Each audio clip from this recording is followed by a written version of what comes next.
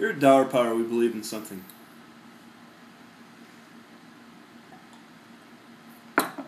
It's called systems integration. Actually, I'm in no way affiliated with Dour Power. I don't think I nailed it.